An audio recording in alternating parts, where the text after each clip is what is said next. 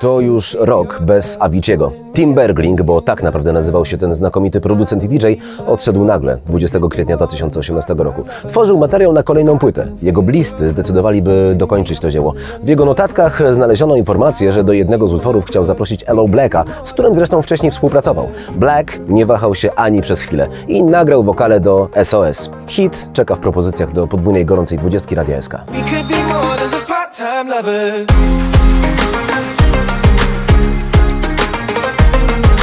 A co na podium naszej listy hitów? Miejsce trzecie. Daddy Yankee i Snow, Con Calma.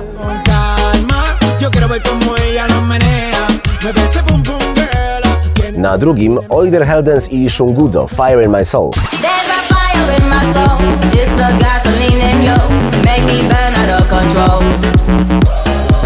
It's the gasoline in you. Make me burn out of control. Siedem dni, tydzień. Dokładnie tyle zajął hitowy King of My Castle powrót na tron podwójnej gorącej dwudziestki.